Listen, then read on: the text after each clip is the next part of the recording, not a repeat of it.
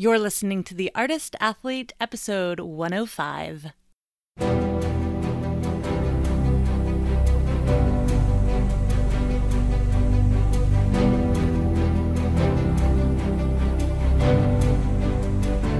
This podcast is dedicated to circus. It's a place for professionals in the industry to share their stories, viewpoints, and information, and a place for outsiders to get a sneak peek into this world. Hey, friends, fans, and foes.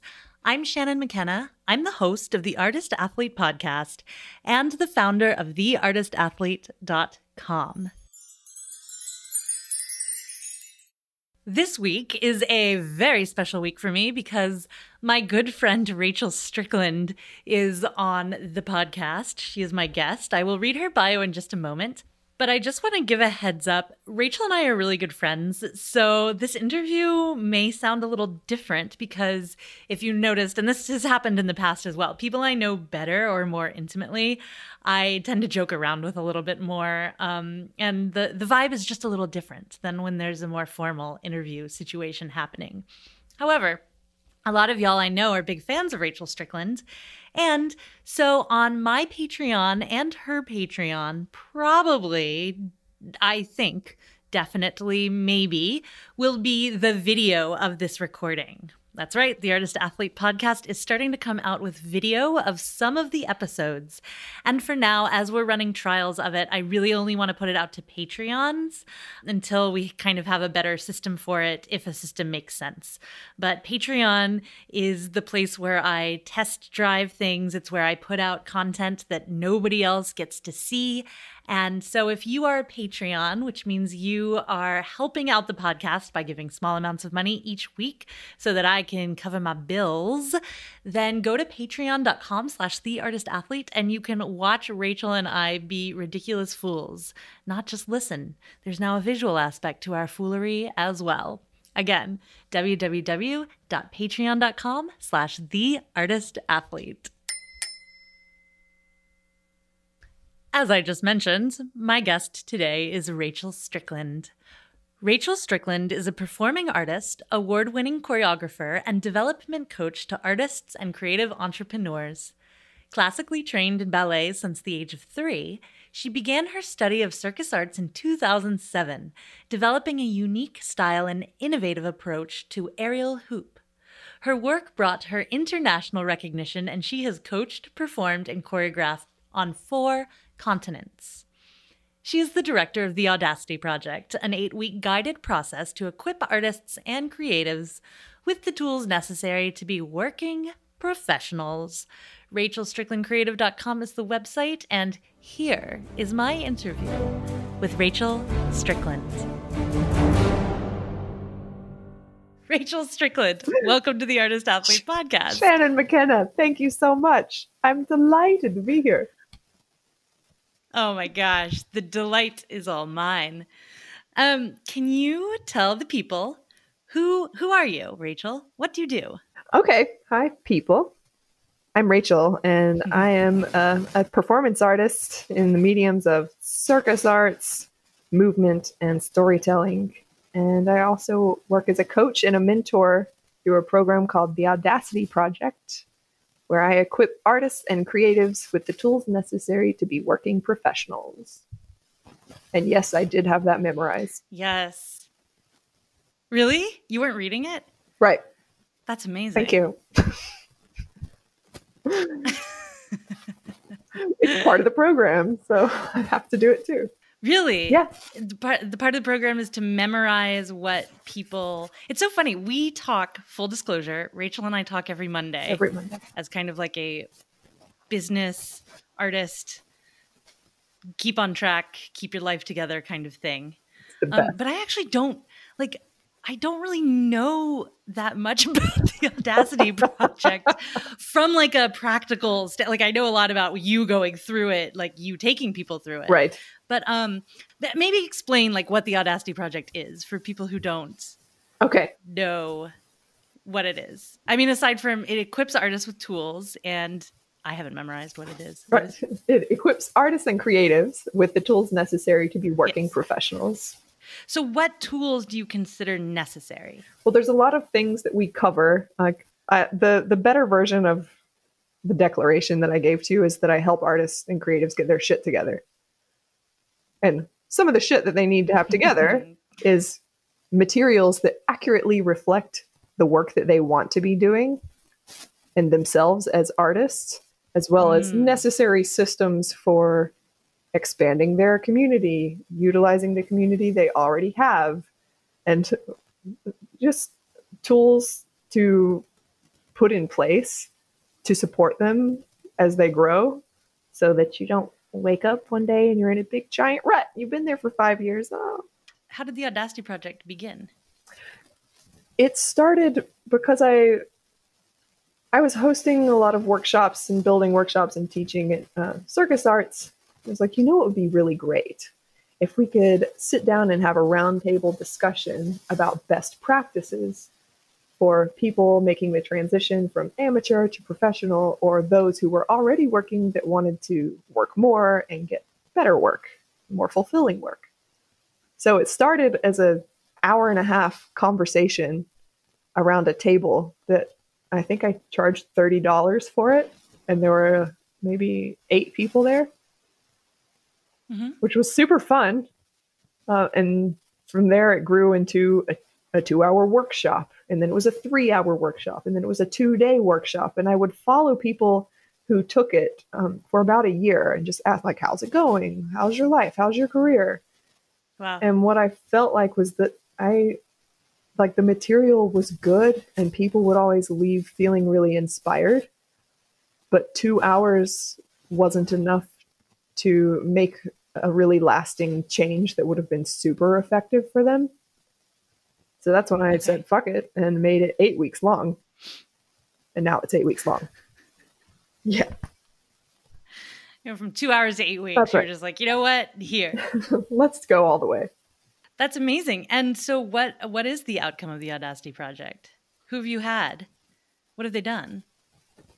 I've had uh, almost 200 souls march through my gates. Wow. Um, I think I started at eight at a time Right now, I can take up to 20.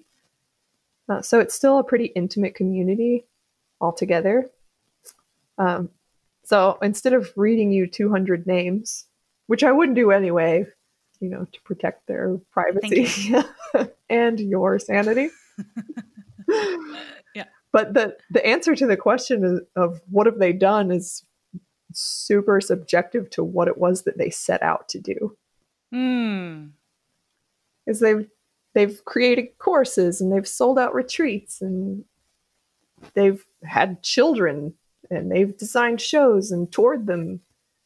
And yes, they've gotten hired by Cirque du Soleil and Seven Fingers because everyone asks. So, yeah, that happens too, but not everyone wants to do that. How did you create something? I mean, it feels like it in one set, and I know we talk about this a lot, like that circus or maybe this is just a thing that I have where circus feels like this very narrow thing or this very small community. Mm-hmm. And yet within it, as you're saying, like there's so many things that you can do within the community. You can oh, teach, yeah. you can give retreats, you can how do you how do you have a program that kind of helps people figure out what they want to do or like assists them in all those different things? Well, it's kind of built from the inside out because the most imperative piece of information to get from anyone is what do you want to do? And for a lot of people, they've never mm. really been asked that question and, and like had someone actually answering or listening to the answer. You know, people mm. like, what do you want to do? What are you going to do with that? Okay, good luck. But not like, what do you want to do? Let's build a map to get there. So that's the most important question uh, and everything else is built on top of the answers to those questions. So if someone wants to like smear fake blood on themselves and roll around inside of a Corvette full of jello, then that's the foundation that we start out with, and everything else is built to support that vision. Which I just made up. No one's actually said that. I would like to smear the fake blood and roll in the Corvette. I I, I didn't know that's what I wanted, but now that's what I want to do you can have that. Thank you. Thank you for telling me what I wanted and also that I could have it. Anytime. Audacity project done. Sorted. you nailed it. So all these people come to you, and how do you know which ones to take? This is a very good question. Um, Thank you. the prerequisites are not that many. It's basic competence in your discipline. You can be very experienced or you can be a little experienced, but basic competence just for safety's sake in your discipline. Um, you have to be hungry for something. You have to actually want something. Hmm. Without desire, I am not helpful at all. Program's not helpful. And you have to have internet access and access to a computer. And you have to be willing, or not willing, you have to be able to pay for the cost of the program without suffering or hurting your quality of life. Hmm. And there's something How do you measure desire? Oh, sorry, I interrupted. that, that's okay. How do I, uh, that? But the second question's so juicy. I've totally forgotten whatever I else. I was going to say. How do you how do you measure desire? Um, Yeah, like you said, like they have to have a desire. They've got to be hungry because I know people who say they have a desire. They're like, oh man, I really want to start a podcast. Oh man, I really want to be a circus artist. And I'm like, oh, really? Okay. And I give them things that I know, Hmm. and then they never do anything with them. mm-hmm. Mm-hmm. So And to me, that says that they don't have a desire. and sometimes Maybe that's a little harsh of me. not necessarily like sometimes there's just so many other factors at play. Like Hmm. and and there's just a lot going on under the surface that may be preventing action from being taken. But at, at any rate they're still like not ready for you at that point. And how i know if someone has enough desire to be ready to work with me is like the whole process of applying for the audacity project is is kind of a vetting process. It's like it, it's not an insignificant amount of cost. Um, it requires reading. You have to have read enough about it to be engaged with the material and interested in it and be willing to fill out an application and have a conversation with a stranger and all of these things. If if you don't want something if you're not quite ready to take action on something those are roadblocks that are intentionally set up. Because if you're if you're not ready then you're not ready. And that's fine. But if there's enough one of oh my god what, what's her name? Hannah blackwell. Gorgeous audacious one. Um, what she said was my hunger overcame my fear. When she uh, when she applied to the audacity project i thought that was quite beautiful.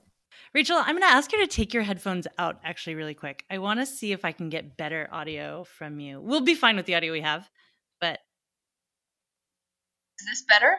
Talk to me. Is it better? Is it better? Say more. More words? Oh yeah, it's better. Okay. Yeah.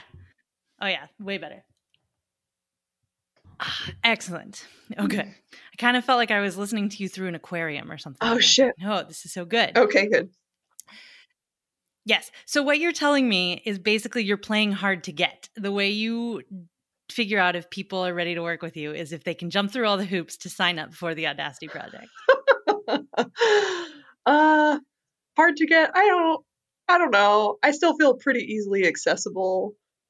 Um Hmm. but it's definitely like a process designed to attract people who are ready to do the work and it's Hmm. designed to to reward them like immediately.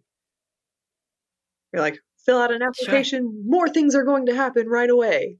You know, to to create a sense of productive forward momentum, which is really desirable.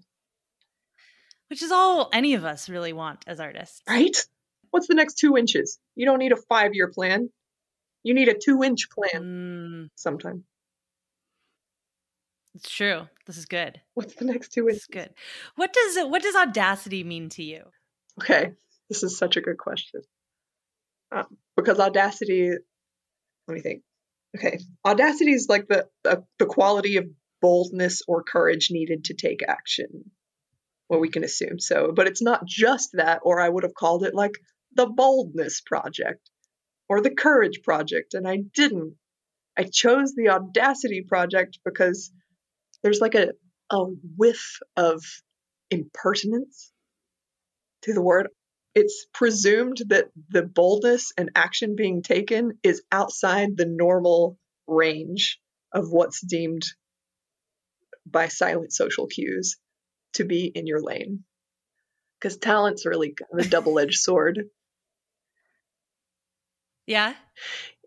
Yeah, because it it's great to have it, but an emotional talent tends to go really far, where a physical talent can sometimes be limiting because it's it's like a nice cozy laurel to rest on, like a, a sofa Hmm. or a love seat. I think it's great when people Hmm. have it, but without without work, talent is just potential energy. How did you get audacious enough to start the Audacity project? I mean, you kind of mentioned like the the nuts and bolts between behind how it was created. Mhm. Um, started as a workshop, it became like this eight week thing. But why you? This is such a good question.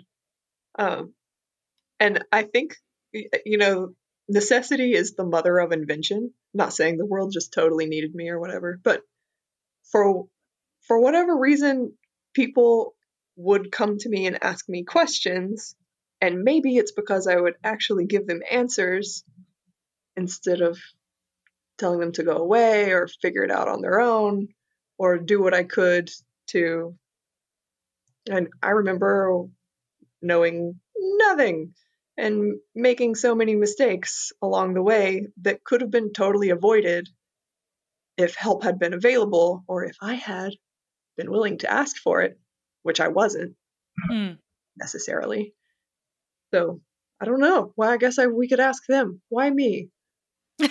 Why did you ask me? I'm happy to answer. I mean, I hmm. th- I mean, I guess I just think this because I know so many people who uh, they don't seem to be able to do what you do, which is somehow get the information that those people got to succeed in the industry to other people. And circus is an interesting industry in that, like, there does seem to be this odd educational barrier of entry Indeed. Yeah. There's so much. where you can have Go ahead. You can have physical mastery over skills and yet still not have a very good career because you don't know who you don't know or you don't know the landscape you don't know the market you there are so many other things to know than just how to be a circus artist It's so true. And being good doesn't get you work. This is No. recording, right? i mean Being good doesn't get you work. it's a totally different skill. neither does being bad neither does bad. however but accurate accurate point from Shannon McKenna. but it's just such a different skill set. And as several times on calls with students when uh, they were being like onboarded into the project, say, "Can I ask you a personal question?" Like, of course. They'd say, "Why are you doing this?" I think it's so awesome that you're doing it, but but like, why? like, why are you why are you helping people do this? Like, I love doing it. I want to live in a jungle full of crazy, interesting plants and animals. The metaphor is they are the plants and animals, and so are we. And I don't want to just live in a jungle with one kind of tree. And if I can help facilitate that happen, why on earth wouldn't I? yes Yeah. come on ecosystem Yeah, diversity.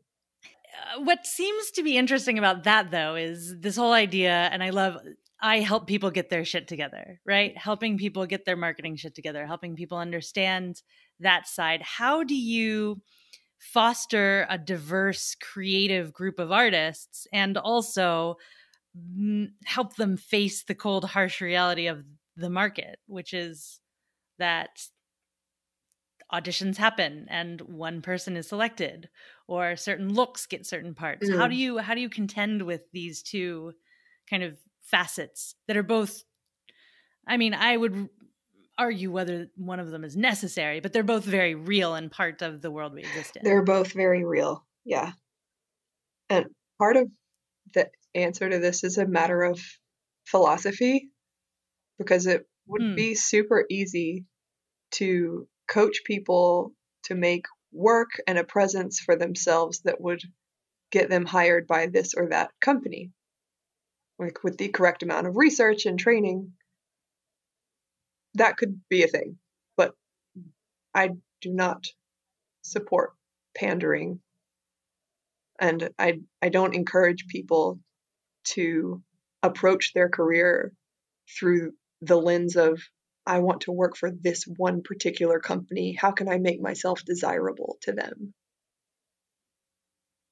Like, and the thing is that that will that can totally work.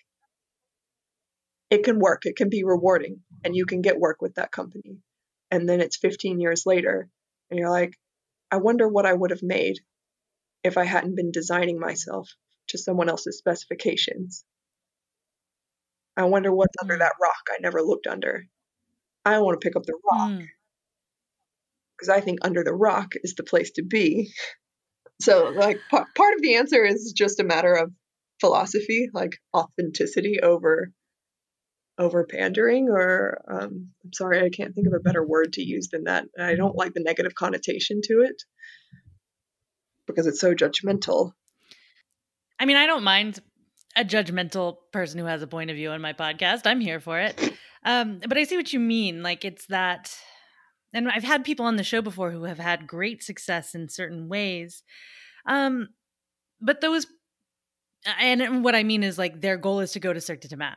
They go to Cirque du Demain. Right. You know, like they, their goal is to do the thing. They do the things to get to that thing, and but usually those people are yeah like they're not really in service to circuses and art so much as like what's what's going to what is it going to take to get them to this festival? Mm. what are the moves that they need? Who are the people they need to know? All of that. Yeah so again it's like i guess my question is is like if you have someone who is an artist or aspires to be i mean i i i think we both think like we're all kind of baseline artists and like we're just building the body of work to prove it. If you're making art, you're an artist. ipso facto right? I actually don't know if that's the correct use of ipso facto. Something that people miss is like when you're an artist, you are the product that you're selling. In very capitalistic terms, like if you are the product, like y- you can be a product that may not fit in the in the market that you want to sell it in. And so is the best thing to do to change the market or to change the product? uh, expand one's awareness of the market. Mm. It's like there's no end to the weird stuff you can do and get paid for. Right? if you think you're too weird for the market, you just need a bigger view of the market.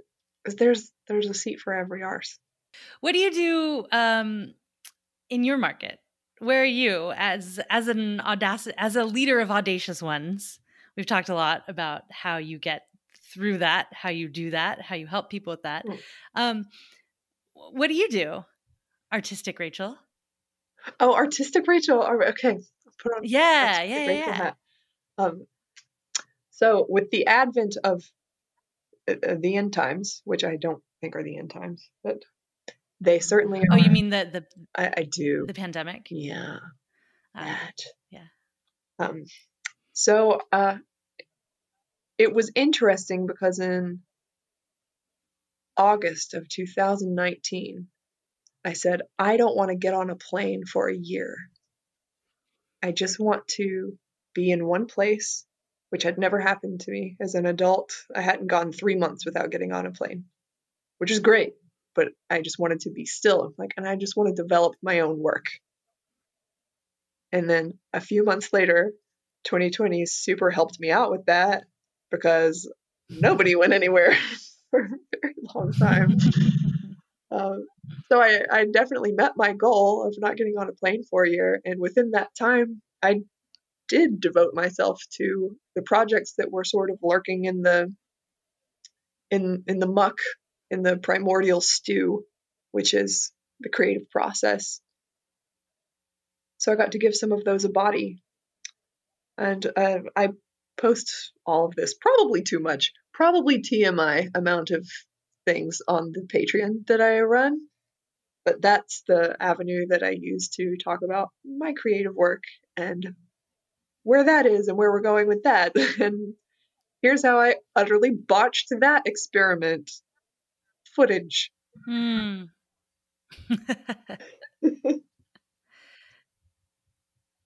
has has having a Patreon? I don't think I've talked to anybody else about Patreon either, even though I have one as well. Patreon.com slash the artist athlete.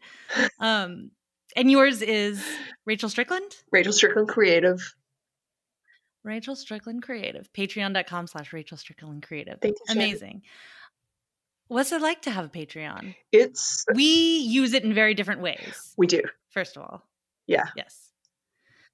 And And you, as you said, like are very like you interface with your fans a lot. Your friends, fans, and foes. friends, fans, and foes. Like you said the word fans, and I'm like, oh, I don't know. I know. You interface with your patrons a lot. I do.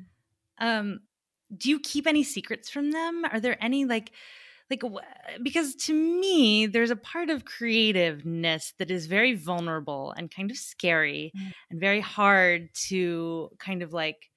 It's almost like um, when you're like something's in your to be like very maternal about this, like in your womb, Mm. you don't really want to show it yet because it's like this gross kind of like gooey pink thing you know and you kind of want to like have it and then like put it in a pretty bonnet and like give it some like i don't know like put a little nose on it i don't know what people do with babies but like you know you want to like dress it up before you show it to the world but it seems like with you you're kind of showing people the the ugly part as well Yeah, I think there's a lot of value in in that pink blob. I see how there could be a lot of value for people reading it. How does it give you value as an artist? For one, it's not so dastardly lonely in that process. Mm. You know, sit in a sit in a room with your own creative process. That's a pretty intense room. And if you if you have a way in which you can share that with other people and invite them into it that works for you, it's like incredibly rewarding. I love having and running the Patreon. It's like an incredibly immense gift to have somewhere to take that part of me. And be like, Hmm. hey, I bought a parachute to use as a huge skirt and I got stuck in it. Um, so that experiment failed. Here's the video.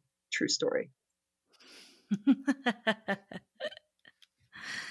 Damn, that would be such a good that's such a good visual. I'm sad that that failed. Yeah, but I know how to do it better now. Nice. Yeah. But we'll see if that one fails. I don't know how many times I'll try this experiment before it fails. It doesn't matter. Do you still consider yourself a circus artist? At the beginning of this call, I said, "Who are you? What do you do?" And you you said you were a performance artist. Uh, it is it is an experiment that I think is closer to the truth of the skin that I'm growing into Mm. because I I mean I love circus and it's totally got me by the balls and that's just the way things are going to be for this lifetime and I love that. But there's a lot more and some of the work that I'm creating right now it it wouldn't be very recognizable as circus arts. It's very movement informed. But if you look at it from a stranger's point of view, you feel like that looks like performance art. Hmm. And what is performance art? I don't know, Shannon. What's performance art? Well, I actually spent four years at New York University studying performance art, so I could tell you all about it, but it's not my interview. Um, but I think it's a lot of different things. Maybe the better question to ask you is um, who are some of your performance art icons, idols? Oh, I just discovered I can't say his name. I'm gonna I'm gonna botch his name. It's French. Excellent. Uh Olivier de Sagazan? Oliver de Sagazan? You know what? Send it to me. We'll put it in the show notes. Okay. Everyone should go and look at the trailer for his work. And it may be disturbing, but it's just fantastic. That's someone that I discovered earlier this year, and I was like, oh my god, this is so great. it was just so alive and new. The world, I, I know that performance art is a whole huge umbrella, and that by bringing even that term into my life, I've opened a large buffet of worms to dance in so, because it's something that I'm still really getting to know. Like I've been living and working as a circus artist for over 13 years. And now like this actually I feel like we're moving into this kind of direction that I don't know anything about. Cool. Yeah, that is very cool. So I, I can't say that I have all that many influences in it yet because I'm I'm still trying that skin on. But it feels like a more encompassing term because I uh-huh. it doesn't feel right to just call myself a circus artist anymore because my interests are are branching. Yeah, totally. I guess yeah, one of the reasons I guess I'm so interested in asking you that is because I'm I think it's very fascinating that you know, like when we're little kids and we, uh, people are like, what do you want to be when you grow up? It's like, oh, I want to be a doctor because, by the way, I hate that question. But people are like, I want to be a doctor because their parents are doctors, you know, or like mm-hmm. they have someone in their life, they see someone and they're like, oh, yeah, that, that looks cool. And I remember, um, being in college and seeing the NoFit State and being like, I don't know what that is, but I want to do that kind of mm-hmm. theater. Turns mm-hmm. out it wasn't theater at all. It was circus, you know? And so I was wondering, I guess, in a roundabout way, like who were the people who were like, oh, uh, Rachel, I'm Rachel Strickland and I want to do that. I'm a performance artist. But it sounds like that's not what happened. You're not modeling this kind of career transformation after anyone. No. You're kind of it's it's the backwards. It's like you're seeing that the career transformation is happening and you're following it. Yeah, and I'm essentially I'm essentially a lackey for my own imagination. Like what are we doing today, boss? Cool, let's do that. yeah, which is really all any artist can ask to be, hey? That's that's literally the what's happening.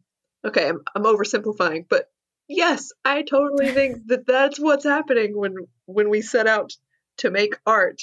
A not insignificant portion of that is like, well, what are we going to make? And seeing what rises from the primordial stew. Yeah. This is tricky, right? Because it, it goes against like this whole planning thing that people have where they're like, I want to make this and I want it to look like this and I want it to do this thing. And they get very disappointed when it doesn't happen that way. Or at least I've had this happen before to me. Oh, yeah. It can be super disappointing you know? Yeah. And sometimes it goes exactly to plan, and that's almost worse. Oh, why? Did you ever? Okay, this is going to sound terribly twisted, but bear with me. Did you ever? I'm here for it. Have a crush on someone, and you're like, I'm going to seduce that person. And then you did, and they ended up doing exactly what you hoped they would, saying exactly what you hoped they would say. And then, like, you realize that you you're you're having the experience exactly as you hoped it would happen and you're bored. You're like oh this is actually kind of creepy and weird. When things Not go exactly to plan so i was like that was easier. Maybe that that was like creepily easy to do Well, it doesn't allow for a lot of transformation. And exactly. I remember talking to Gypsy Snider on our episode, and she said, oh, what did she say? Art should be transformative, not just for the audience that witnesses it, but for the artist that creates it. Yeah, it's the the mistakes are just part of the beauty of the process or the ugliness of the process, the value of the process. And if there's no mistakes being made, no rejections happening, then it doesn't seem like risk is being given its due. Yeah. And this is something I wonder if you have any opinions about this because I think circus artists specifically have trouble with risk. And not, I mean, obviously, we're very good at physical risk, some of us. Right. You know, like those who are called to work at great heights or stick their heads in lions' mouths or things like that. Great at physical risk. But emotional risk seems to be a lot more difficult, or risk in um, content. Can you say that again? Do you know what I mean? Risk and content. Yeah. Yeah, risk and con- and by content I mean it seems like and when I think about like the worlds of circus and the, the things that I've observed it's like there are people who are very much in like the sparkles and then there are people who are very much in the black booty shorts and that's circus. Okay. Don't forget the jeans. and of course, of course, there are plenty of people who are making all sorts of things that operate in in between, hmm but not as many as operate on those kinds of two places. Maybe it's because those two places are are modeled. Like you were Hmm. saying before, it maybe because it, it gives it gives people a skin to try on. And Mhm. according to where you are in your development, you might need to try on that skin and see how it fits. And then that you might grow out of that and become something else. Yeah. It makes sense to me why those those two uh, opposing I- ideals, can you use that word, are so present because they're Sure, why not? they're modeled. They're there. Mhm. Yeah. And again, I think it's like this idea of like that's what the market kind of sells. Right, because that's what people see. But Yeah. There's no primarily. yeah, but it sells because it's seen, and it's seen because it sells. And at some point in there, there is room for something new that wasn't there before. Okay, so let's get into this part of it because we've danced around it a bit um, and talked about it a little bit, but the imposter syndrome of it all. I asked you, how did you have the audacity to start the Audacity Project, or why are you doing this?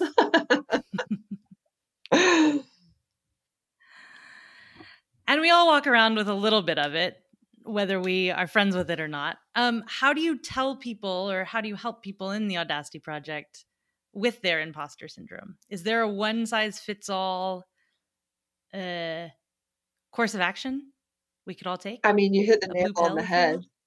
Really, Huh. action is What's that? action's the best medicine for imposter syndrome. And like, there's lots of things. If you look up how do I deal with imposter syndrome on the internet, you will get so much bad advice. You'll get some good advice too, but a lot of it is kind of, I don't know, trite and unhelpful. Like, don't compare yourself to other people. But we're gonna compare ourselves to other people. It's a human, a very human instinct to do so.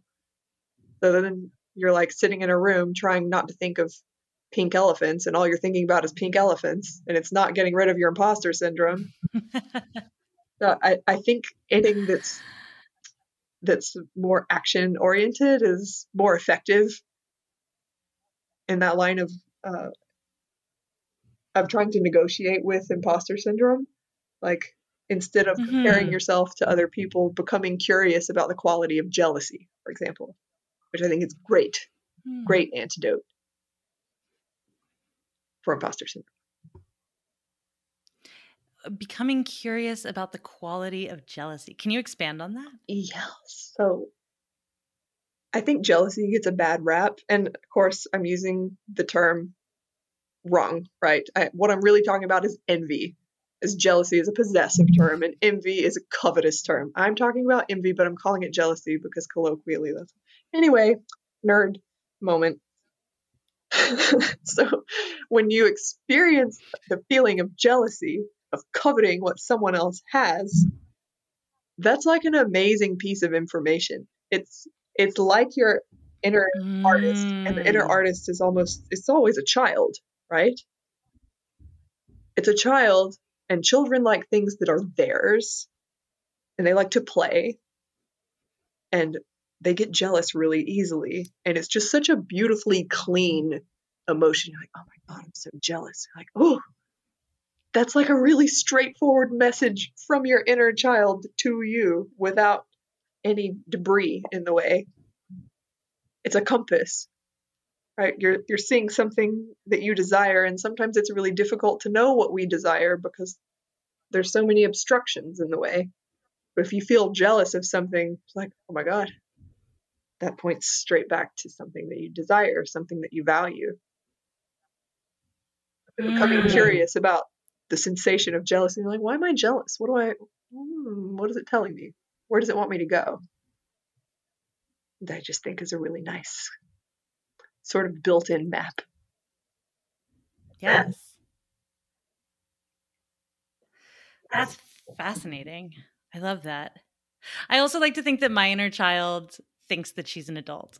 She wears like like her mom's high heel shoes and like a big old pearl necklace. I could see know? that. Yeah, in that jacket, that you're like circusy jacket. Yeah. Mm-hmm. Yeah. And I'm just like, hey guys. Yeah. Oh, you're Rome. Can you be too audacious? Oh yeah. See, like that's like my inner child. Like yeah, completely. Like it's all just like, like I want to play dress up. I want to be like. That's why when people are like, "Your artist is an inner child," I'm always like, "No, mine's not. My artist is a grown up." But it's like coming from a very childish place of wanting to be a grown up. It's. I'm having that revelation just now as we're talking. Um, That's good. So I I wanna I wanna ask you a question and then I want to tell a story that is the reason that I'm asking this question. I want to give like a, a a case study for the question. So the question is is it possible or have you ever had someone who is too audacious? And the case study is um, a dear friend of mine. Uh, do you know Shayna Swanson? We've never had the pleasure of meeting, but we've spoken via the internet. Yes. So Shayna, when she was on the podcast, told this story about how she sent probably, you know, like a video every six months to Cirque du Soleil trying to get into the company. Um, and she just wasn't that good. She just wasn't technically that good. And they, and she said she's the only person she's ever heard this happen to. And I've never heard this happen to anyone else. But they actually told her to stop sending them video because she was never getting into Cirque du Soleil. I know, which I feel like is like an accomplishment in and of itself in some ways. Yeah. Um, however, if your goal is to get into Cirque du Soleil, maybe that's it's not an accomplishment. So my question again is like, would you say that Shayna Swanson is too audacious? I would not. I'd say Shayna Swanson is the exact right amount of audacious. And I, uh, well, if we can circle back around to like, if, if all your concept of success is to work for one single company, then that's a really dangerous place to be because it defines your success and your value as an artist on someone else's opinion, right? And like, I've been Mhm. there. I auditioned for Cirque du Soleil and I didn't work for them either. And actually had a very similar piece of feedback. Like, you're just you're you're never gonna work here because you don't fit body type for the profile that we need you for. And it was a gift, so it's kind of like getting told go away, we don't want you sucks. It sucks. But it's also a gift. Because if they never said that, then who knows how many more years you would end up sending videos and flying to Vegas or wherever for auditions for someone that wasn't interested. It's like when you're trying to call someone you're crushing on, if they don't like you, they should just tell you, I don't like you, so that you can move on. I was just going to use that metaphor. It's yeah. so good. Mhm. It's so real. Yeah. It's interesting because I think about the Audacity project as almost, or I, I before this call, and I thought about it almost as like business preparation. Mhm. But the more we talk, the more I think it's kind of like artistic preparation in a way. Well, I, feel like they have to be combined because to to give someone to give an artist this information and not make it based on and not make it rest on a foundation of what's authentic to them not Hmm. help them. Like they really I don't know how to divorce the two. Yeah. I mean, I guess I could just give straight up business advice, but without without knowing anything about the artist who I'm trying to help, that's not helpful. I mean, it, Huh. it could be, but to an extent. I mean, I think it would only be helpful to the people who had the right proportions or who like fit in other ways. who weren't going to be told no. Right. And everyone's going to be told no, like everyone at some point. It's true. It's true. I get told no all the time. Right. It's not a bad word. I hate it. We have the, uh, like, this habit when in the Audacity project, like, we have a little group, right? And when one of us gets rejected, we like to celebrate and, like, post a selfie in the group and be like, what's up? I got rejected. And everyone's like, congratulations. because it's proof of effort, and effort is love. Wow. Am Mm, I such a hippie right now? Effort is love. I mean, I'm here for it. Did. Yeah, I said that. Sure. hmm Yeah, you said that, I and did. it was recorded. It was recorded. That's forever.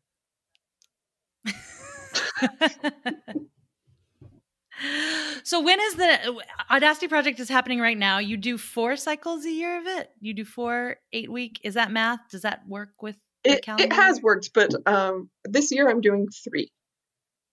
Oh, okay. Uh, the the summer cycle's waitlisted, but um, applications for the fall cycle will likely open in September. okay. And yeah. And if anyone is interested, the best way to find out about that is to be on my mailing list. And how do people get on your mailing list? if you are, I know a lot of us are on the gram. If you go to my bio, there's a handy little list of links, and the one at the very top is join my email list. Very easy to find. And that's the best place to be apprised of the comings and goings of the Audacity project and tales and fails and whatever else, whatever else is on the docket. Amazing. Rachel Strickland, what advice would you give to yourself at the beginning of your career? I should have known you were going to ask me this. Literally, I ask everyone, Everyone. this. Yeah. Like there hasn't, I don't, maybe there's been like one person, but I don't think so. No, you're not crazy. Do it. And also hmm. ask the nice people for help. Don't be an island. Don't be an island. That's amazing. Well, Rachel Strickland, thanks so much for coming on the show today. So much fun. I'm so glad we did it and didn't end the way it ended last time, which is we don't know what happened. We have no idea. But we were drinking wine in Thailand, so this is better. Yeah, we're both sober. How Yeah. cool is that? Yeah.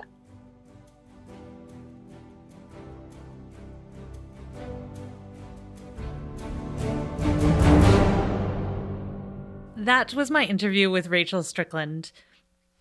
Just to clarify, this is also one of those interviews that we had done about two years ago when we were doing an aerial retreat in um, Thailand, and the result was not good at all. And it got lost. And I'm so glad that we came back together and recorded when we did, because I think both Rachel and I have grown so much in the past two years in our ideas about what art is, how to foster other artists, and I thought she had a lot to say on the topic. I want to be very clear, though, in this outro that I am not attacking anyone who wants to work for the same company for 20 years. And I don't think that Rachel is either. I don't think that either of us, I, I, I guess I can only speak for myself. So I will say I don't believe that there's anything inherently wrong with that. I don't think that that's, you know, like a bad thing if you've done that and if you've loved that. And if that's your experience, go go live your life. Like Mazel Tov all the joy and power and everything in the world to you. However, it becomes very reductive when the belief is is that that is the only path of the circus artist. Circus can look so many different ways to so many different people and how to and being a creative in any field. I'm sure that no one other than circus artists listens to this podcast because it's so specialized. But it's true in any field that there's no one way to be a writer. There's no one way to be a musician. There's no one way to be a cartoonist. You know, it can look a thousand different ways, but sometimes taking those first few steps, getting that action, figuring out what sh Rachel says in the interview, she says, "What's the next 2 inches?" You don't need to you don't need a 5-year plan, but sometimes just figuring out those next two inches can be really challenging. And having someone like Rachel, who has something like the Audacity Project, can really, really help you out.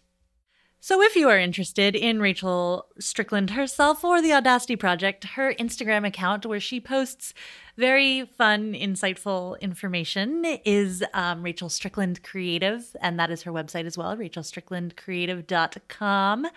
And as for me, for aerial training tips and inspiration, I'm on Instagram at the underscore artist underscore athlete. My website is theartistathlete.com. On Facebook, I'm the artist athlete. And if you love what you're listening to and you want to see what you are listening to, go to patreon.com slash the artist athlete. You can see video and get so much more. Patreon.com slash the artist athlete. Thanks for tuning in, friends, fans, and foes. I'll talk at you next week. The Artist Athlete podcast is supported solely by donations from people like you. Here's what some of those people have to say. Hi, my name is Noah and I do hand balancing. Hi, my name is Woody and I do Leo walk. Thank you for listening to the Artist Athlete podcast. Hi, I'm Freya. You can hear my whole story in episode 50 of the Artist Athlete podcast, but I'm here to tell you about something else that I do. I'm a qualified health and nutrition coach. I help people with sleep and body confidence, among other things. You can see everything I have to offer at wildguidance.com or follow me on Instagram at wildguidance. Hi everyone, I'm Dominique, a ground acrobat, trapeze artist, and coach, currently bringing circus to the extremely cold but very beautiful Northern Ontario, Canada. Circus has changed my life, and I'm so grateful to everyone in this community. Find me on Instagram at Dom Upside Down or my website, domupsidedown.com. Aloha! My name is Beth Russell, and I live on the beautiful island of Maui, Hawaii. I am an aerial artist and movement instructor specializing in chakra yoga to keep me balanced and grounded.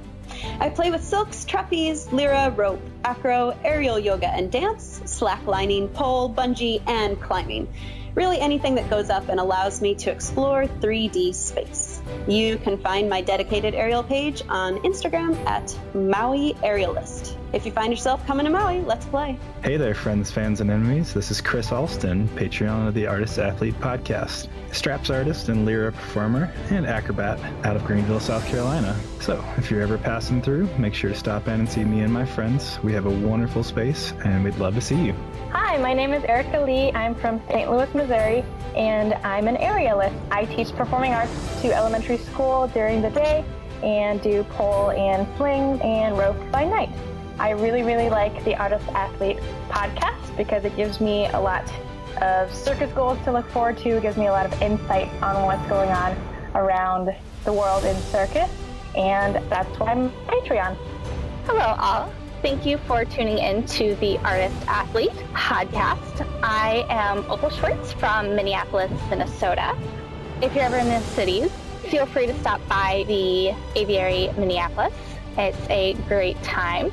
With that, I hope you all have a wonderful rest of your week and goodbye. Hey there, artists and athletes. This is Andy Smith, owner and artistic director at Saltaire Circus School in Jacksonville Beach, Florida. And I want to thank you for contributing to the Artist Athlete podcast. If you ever find yourself down in Florida, come check us out. Whether you're an artist, athlete, or someone ordinary just looking to be extraordinary, we got a place for you.